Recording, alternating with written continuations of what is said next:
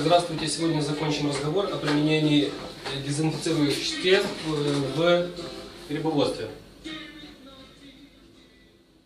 Итак, э, сегодня я расскажу о применении спирта, лизоформина. И есть такой препарат, э, сейчас новый появился у нас на рынке, Дутрион. Э, было проведено исследование на базе лаборатории этого препарата. Он был любезно предоставлен дистрибьюторами этого препарата, им было интересно проведение исследований относительно использования этого препарата в грибоводстве. Значит, об опыте применения этого препарата я расскажу сейчас, чуть позже. И вот то, что вы видите от меня э, справа, э, чуть позже поговорим о, будем делать сбор урожая э, королевской вешенки. Итак, препарат лизоформин. Этот препарат незаменимый вообще в грибоводстве. Э, если вы спросите меня, чем обрабатывать поверхности при посадке, чем обрабатывать э, там, одежду, перчатки и э, инструментарий, который вам необходим, я однозначно отвечу, э, что этим препаратом является лизоформин. Э, на это есть несколько причин. Первая из этих причин это то, что этот препарат имеет э, исключительно тот профиль,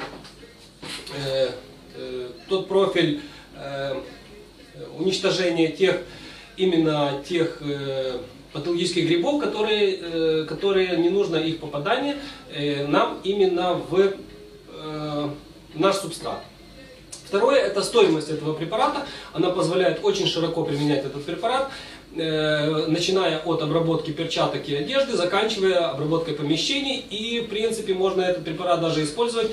Я рекомендую использовать перед перфорацией самих грибных блоков, Э, когда происходит прорезание пленки, э, желательно э, сделать обработку вот этих грибных блоков предварительно лизоформином, то есть по целой пленке, для того, чтобы, для того, чтобы в дальнейшем не попадала инфекция внутрь самого блока. Итак, из чего же, будет, из чего же состоит этот препарат? Основным ингредиентом или составляющим этого препарата является глутаровый альдегид. Скажем так, э, ну, скажем проще. Э, основным составляющей этого препарата является формалин. Э, в многих странах применение формалина э, вообще в обработке, особенно в производстве там, шампиньонами, э, запрещено. Но применять для какой ну, обработки субстрата или внесения его Э, в каких-то количествах субстрат, это абсолютно исключено, потому что препарат э, содержит формалин, он это ядовитое для человека вещество, и применять его для э, обеззараживания субстрата абсолютно категорически э, не рекомендуется, я бы даже сказал запрещено. Но для того, чтобы обработать рабочие столы, для того, чтобы обработать перчатки, для того, чтобы обработать одежду, этот препарат вполне приемлем. Э, значит, как мы будем его использовать? Для того, чтобы нам приготовить рабочий раствор, нам будет необходимо сделать следующее. 20 э, мл препарата лизоформин вносится в 1,5 литра воды. Э, такое количество нам позволит сделать 0,75% концентрацию этого раствора. Это будет вполне достаточно э, для того, чтобы э, этот препарат имел высокую активность относительно нежелательных э, грибов, которые будут попадать которые будут попадать, могут, могут попасть в результате посева вешенки. Как мы будем дальше использовать? То есть лучше всего я рекомендую взять полтора-литровые баклажки от э, сладкой воды, э, к ним покупается вот такая вот насадка-распылитель, вы даете 20 мл лизоформина, добавляете водой, и у вас получается готовый рабочий раствор. Э, желательно его не разводить, то есть всю емкость одновременно, желательно постоянно готовить его свежим. Он имеет голубоватый оттенок. Со временем э, этот препарат, когда э, ну, немного какое-то время он стоит, он будет делаться коричневого цвета.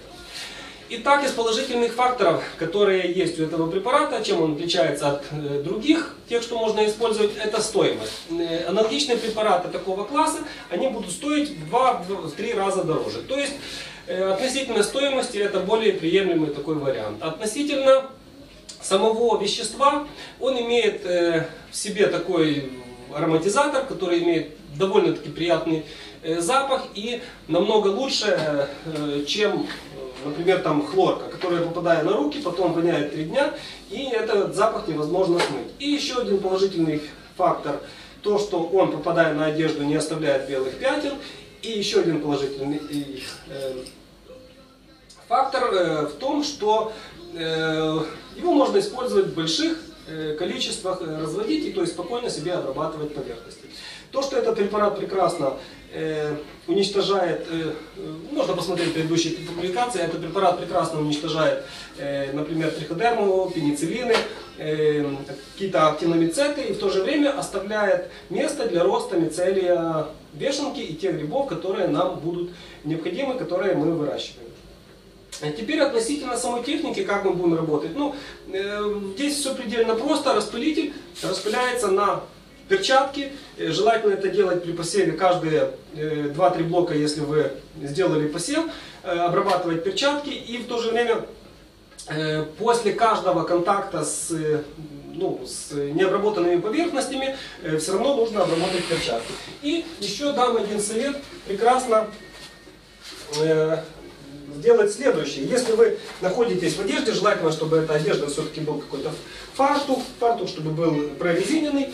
И перед тем, как приступать к самому посеву, желательно сделать вот такую манипуляцию этим же лизофамином обработать на себе одежду. Это исключит осыпание спор и, и, спор и ну, самих грибов, которые могли попасть на эту одежду. Это исключит их попадание, в то же время одежда обеззаражена, вы можете более спокойно работать, и это принесет более э, зна, э, безопасный и уверенный результат. Э, вот еще находится одна такая емкость э, на столе. Вот это есть спирт. О спирте я уже рассказывал, можно тоже посмотреть предыдущую публикацию относительно спирта и применения его в грибоводстве. Я считаю не совсем, то есть совсем не оправданным применение такого препарата в грибоводстве. Это не совсем то. Э, единственное, что э, нужно отметить, э, я делаю вот такой вот раствор, одна четверть этого лизоформина на три четверти спирта. Получается вот такая вот гремучая смесь голубоватого оттенка, которая в принципе решает все лабораторные э, вопросы. То есть таким обработанные таким э, средством э, посуда, инструментарий, еще что-то, ну, сто процентов можно будет быть уверен, что они обеззаражены на том уровне, который нам необходим. И э, сейчас идет проработка одного такого интересного материала, э, то есть э, производство мицелия нулевой генерации в больших объемах, скажем, для предприятий. Здесь стоят свои технические некоторые проблемы, э, потому что нужно работать в основном из э, маточной культуры, первого пересева. Таким образом нужно получать большое количество э, самого посевного материала. И приходится работать уже не с чашками-пробирками, а приходится работать в основном вот с такими полулитровыми емкостями и проводить дезинфекцию этих когда уже находится внутри биологический материал живой, проведите дезинфекцию не совсем э, просто, не совсем э, решимая такая задача. И вот, в принципе, использование вот этого такой гремучей смеси спирта э, вместе с э, лизоформином позволяет вот решить эту техническую задачу. Э, приблизительно речь будет идти в следующем, что посевы культур делаются больше, э, на э, больших таких объемах и обработка вот самой э, при посеве вот на такую банку обработать вот эту поверхность э, не так просто, например, как это бы было в случае пробирки. Вот для этого будет применяться э, вот этот препарат и его очень положительное свойство, э, которое будет позволять нам в дальнейшем э, в связи с тем, что у него есть вот такой вот хороший фактор. Это средство позволит нам использовать вот такое свойство для того, чтобы обрабатывать вот эти банки. Э, так, еще, э, если возникнут какие-то вопросы относительно работы с этим препаратом, их можно добавить в комментарии. Я постараюсь ответить на все вопросы, которые э, вы будете задавать. Относительно лисформина я скажу, что э, применять в грибоводстве это более всего оправдано. Э, самый э, дешевый э, препарат, из одного литра получается множество рабочего раствора. И э, этот э, рабочий раствор, если взять в большем объеме в распылитель, то есть э, там 5 или там 10 литров, или 20, или 50 литров, можно обработать в помещении э, в период карантина, в период, это естественно обработка производится только тогда, когда э, в нем отсутствуют грибные блоки, и для дезинфекции самого помещения, чтобы устранить из него грибы, патологические, которые нам там не нужны, можем применить этот препарат. После этого применяется очень интенсивное проветривание, и помещение может быть опять же готово к своей работе. Э, ну, скажу э, на 100%, что проверялся этот препарат на всех видах э, грибов, то есть негативных грибов, которые нам не нужны, это даже э, те грибы, которые растут по углах на стенах, там, в ванной, э, в помещениях, там, где излишняя влажность. Если провести обработку вот этим препаратом несколько раз, эти грибы само собой устраняются. Вот. И э, в заключение э, э, хотелось бы еще сделать такое вот выступление. Если вам будет интересно, можете послушать. Если не интересно, переключайтесь дальше. Э, значит, э, почему такие э, сложности, почему такие сложные препараты будут применяться для того, чтобы обрабатывать субстрат, обрабатывать поверхности в грибоводстве? Все дело в том, что здесь нужно рассказать одну интересную такую притчу о советском здравоохранении. Все это знают, не все это знают, а те люди, которые выросли при советском времени, они знали один такой момент. В отделениях родильных домов, там где происходит э, рождение детей, был очень строгий карантинный такой, ну, скажем, не строгий, а строжайший такой режим, когда э, в отделение куда не допускались посторонние люди. Это нам сейчас э, всем привычно, когда мы смотрим фильмы, уже у нас сейчас тоже стало э, таким вот образом, что посещение рожениц в этих отделениях абсолютно доступно. Люди приносят подарки, приносят цветы, берут детей новорожденных на руки, и это все считается нормальным. Но лет 20 назад попадание в такое отделение было категорически исключено. То есть извне в это отделение не приносилась никакая флора. Э, в этих отделениях создавались определенные э, условия. Ну, как говорится, свято место пусто не бывает. Очень интенсивная обработка этих помещений, очень такой карантинный режим, когда, когда не попадали посторонние бактерии, создавали такие условия, когда э, э, пространстве не существовало конкурентов. А если конкурентов не было, то в этих местах развивалась патологическая инфекция. И э, после тех случаев, когда э, было множество, большое количество, например, заражений или внутреннебольничной инфекции, э, начали, э, проводились исследования санэпидемстанций, и посевы из, э, в этих отделениях говорили о следующем.